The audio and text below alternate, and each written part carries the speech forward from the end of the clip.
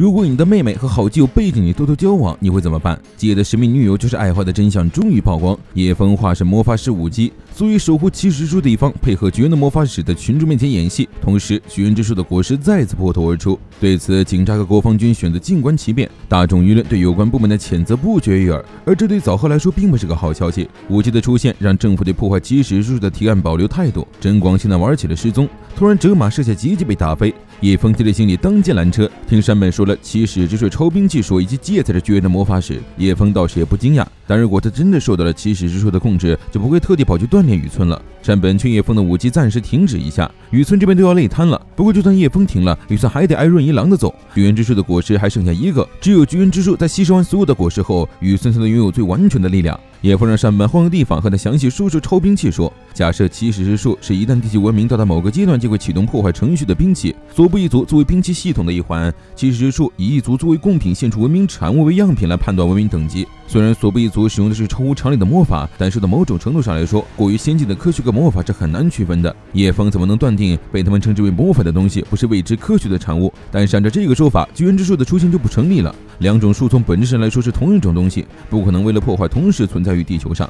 但是有一点可以肯定，那就是起始之术是怀着恶意入侵他们世界来历不明的东西。作为起始之王女的叶枫心情复杂。从现在来说，起始之术还勉强受到控制。如果真的带有恶意，那为什么会让一个住在地球上的人有可能去控制他呢？山本突然话锋一转，问他和自己的进度如何。如果起始之术是必须打倒的侵略者，那么最有可能杀死叶枫的人就是一次绝魔法师的基野。正因为有这份爱，谁也不知道叶枫的最后关头会做什么。毕竟为了心爱的男人而死也是个甜美的结局。叶枫拜托山本去富士山脚下回收他之前用过的木桶和人偶。真广其实很迷茫。富士山的时候，基野答应他要告诉他爱花的男朋友关于这件事，他要亲自去找基野确认真相。但确认了之后呢？他又该怎么办？真广一路来到墓园，这里有很多人都在祭拜。他不明白这些人到底在祈祷什么，死了的时候说什么都太迟了。通过扫墓到底能得到什么慰藉？郑广不喜欢这里的气氛，而在他准备离开之时，毫无准备的和前来祭拜爱花的基野相遇了。这也是两个人在世界毁灭之后的第一次见面。哈姆雷特中，哈姆雷特的在死罪后，他的哥哥和恋人在墓地中不期而遇。在真的见到基野之后，真广表现得非常平静。基野不是约定好了要告诉他爱花的男朋友，也顺便讲讲自己的女朋友吧？反正基野用不着多回答半个字。基野明白真广已经知道了真相，他也很平静地说出了他的确是爱花的男朋友。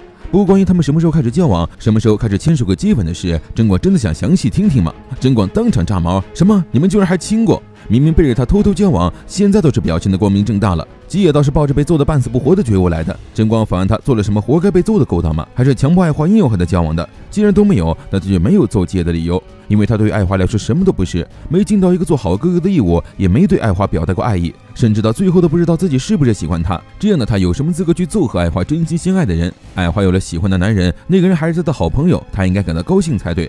爱花是个好孩子，虽然性格不太好，胸部也有点小。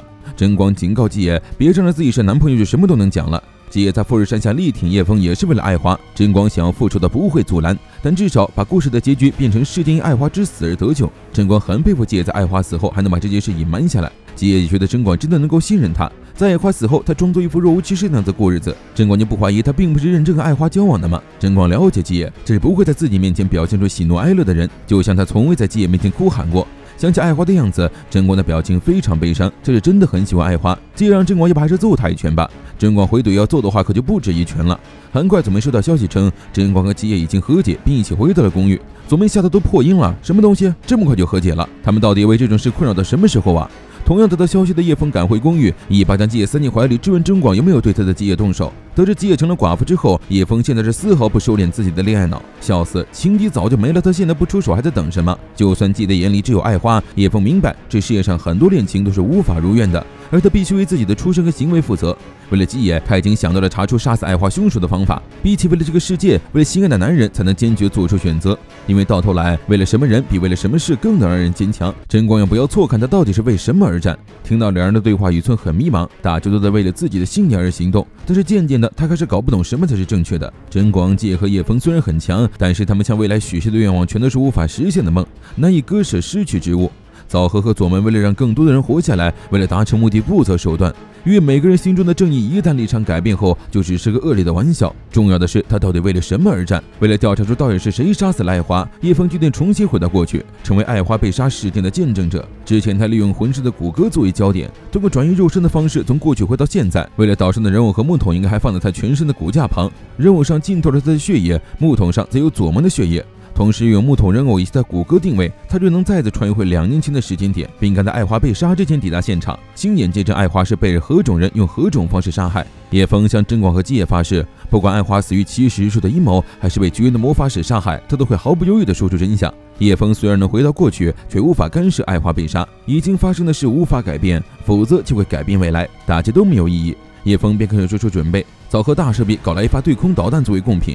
爱华虽然说要查明真凶，但是佐门理解他。如果事情有变，他可能会亲自动手杀了爱华。过去用魔法探查真凶是一无所获，但如果凶手就是当时还没犯下杀人罪的他呢？